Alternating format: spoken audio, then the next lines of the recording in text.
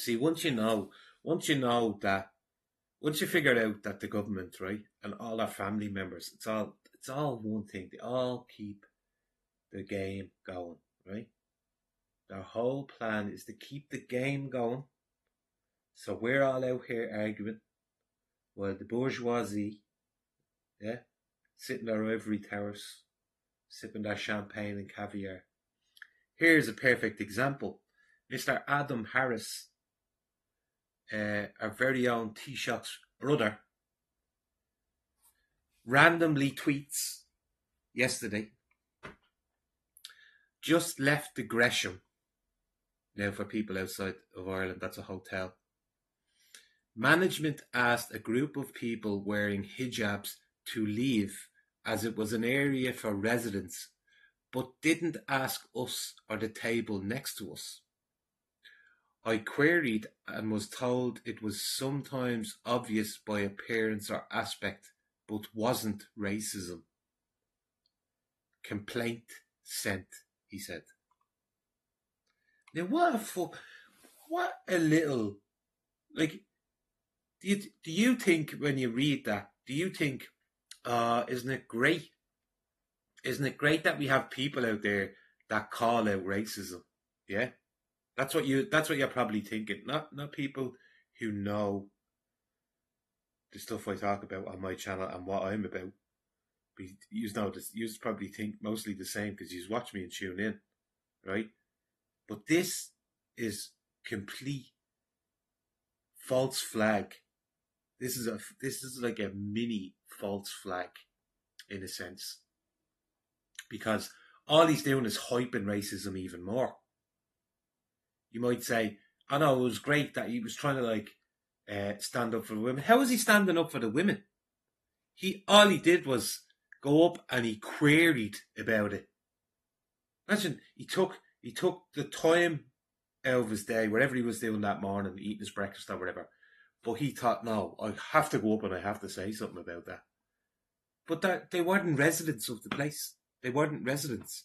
And and he's saying to himself, but we weren't residents, but they didn't kick us out, so he felt compelled to go up and complain about it. You see, it's these little things, people.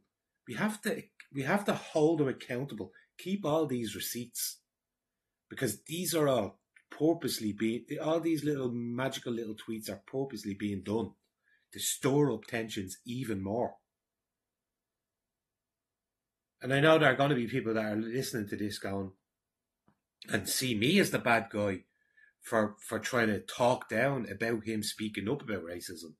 When I'm telling you, he's just he's doing it for a reason. He's keeping racism in the forefront of your mind. That's what he's doing. That's what they have to do in order to keep the flooding of the country going.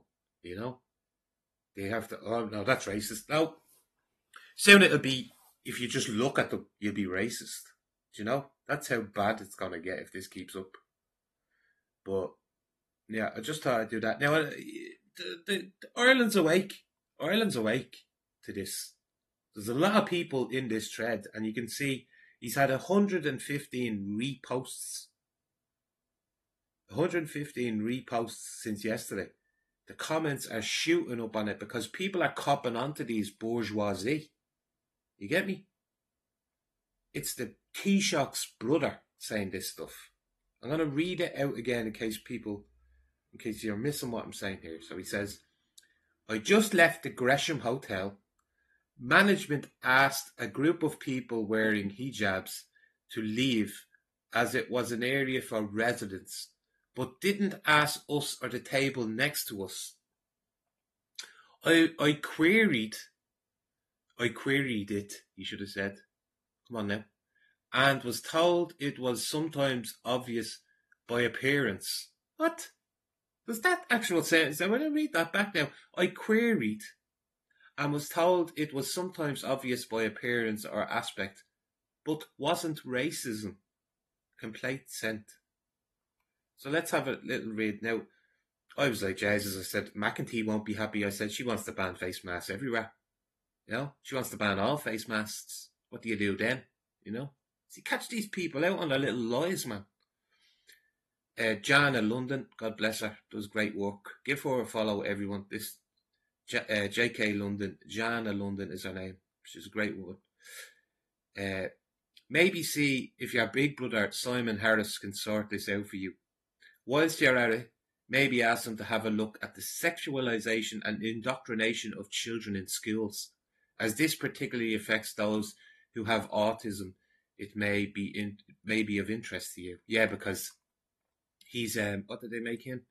He's like CEO of ASL AM Ireland, which is like uh, for autism, autism, autism, can't talk, autism awareness. Uh, Taxi Dave, Hold on, pal. Doesn't your brother want uh, want to make wearing masks in public be illegal? Why should the hijab be any different? Brilliant, brilliant, Taxi Dave. Love it. What's this got to do with racism? The last time I checked, Islam was not a race. There you go. Uh, now you have the few that come in like this Caoilfhionn Gallagher. Appalling. Thanks for both addressing it on the ground and calling it out here, Adam. Both vital to address this. Like, and then you go in, right, and you see, right, right come on, who are you with then? Who are you with? Oh, you're a lawyer, are you? You're a lawyer, an, an expert expertise in human rights, journalist safety. Are you? You see what I mean? It's the same. They're all part of the same system, people. They're all part of the same system. I know people watching my things know this, but for the new people that are watching it, they're all the same. These. Uh, so you think banning the hijab is a better option, just like in France? Now you have seen my videos of France and my heart bleeds for France because France is just gone. Countryside might still be okay for now, but northern France, au revoir, it's gone. Muslims wearing hijabs just shows that Muslims have no interest in assimilation. Uh, TG, that, uh, that the Gresham is trying to maintain standards for their Christian and Jewish guests. I think he's just trying to wind them. Tallpal's just trying to, you know, trigger them a little, wind them up. Finton says, imagine holding your own brother accountable for his nonsense talk about scoliosis. He says, fuck off, you race baiting clown. Now, Finton, bang on, perfect. That is the perfect comment. Two things you hear about. Perfect, son, perfect. Ninja Knight, don't give this lad a follow. He's another good Irish lad. You're the brother of Simon Harris. Wouldn't believe a word out of your mouth. Plain and simple. Now, now here's one where I had to reply and try and try teach people. Yeah? Because everything we see has been in the bu- in the books for years. Okay? So this Colette Kelleher, right? Let's see. Where you who do you work for, Kelleher? Where, where, where, are you with? What are you with? I learned that people will forget what you said. People will forget what you did, but people will never forget how you made them feel. So that's our quote. That's our whole bio. Doesn't say what she's working at, uh, working as or anything. But I can guarantee. Ah, there you go. Look at she's sharing Palestinian stuff and all. So it does not say at all. Do you know? Sharing the culture nights. Oh, isn't it great? Isn't it great. We have uh, these other cultures over here celebrating and all, but these these fuckers would, couldn't give two shits about Irish culture. That's what gets me. You know. But she said, uh, what was it? She said, yeah, is in Islamophobia is rampant. Here we are, Taxi Dave. I, I linked I linked um so I linked our quote back going, I've learned that people will forget what you said. People will forget what you did. So have a listen to this. And I linked Christopher Hitchens talking about the warning he was giving the world about this Islamophobia that they're going to use on the world in order to protect. sorry. Damn. In order to protect uh, government in the sense of what they're doing, like flooding countries in the West. They're going to use things like Islamophobia and put them all out there, put that word out there. But Taxi Dave says, uh, in quotes, Islamophobia is common sense. Nobody wants to get their head chopped off because people we had this fella here called Yusuf Palini, Palini, whatever. he was a, he was living in Sligo, and he he was meeting gay gay men through uh, Grindr. I think it's Grindr or uh, Tinder or whatever. I don't know. I'm not gay, so it's one of them apps. and uh, he was meeting up with these blokes, yeah. And two of them, he killed two of them. He chopped their heads off. He chopped their uh, penises off. You know, that's these. Are, this is the psychos that we're letting into the country. But yet, they've made a point of putting Islamophobia in quotes because it's not a real fucking thing. Islamophobia, what are you talking about? It's completely Hitchens fucking told us. Christopher Hitchens, go look at Christopher Hitchens. That's why I linked it in this woman's post, hoping she will look at it and come to a, an understanding of what the fuck is going on. You know? Here we go. Mainly because Western societies respect women, dogs, pigs, and homosexual people. Do you think women are inferior to men? Do you think dogs are filthy? Do you think uh, do you think it's a grave sin to eat pork and bacon? Do you think homosexuality is a crime? I'm gonna sh- a crime. I'm gonna share that one because this is the this is the thing that the lefties and all them, the NGOs, the bourgeoisies, this is the thing that they're neglecting. You know, I likened it to. I was on a live with Jim. Shout out to Jim. Okay, I was on a live with him last night, and this came up. He said something about people's awareness about what's going on around them, and I said I just watched a video on an American, two American black people, a black male and a black female, and the black male was he was very intelligent, you know, very articulate, and he kept hearing a beeping on your woman's end, on the black woman's end, right? And he's like, Can you now hear that? And she's like, Hear what? And he's like, That beep, that the fire alarm, do you not hear that going off every 20 seconds?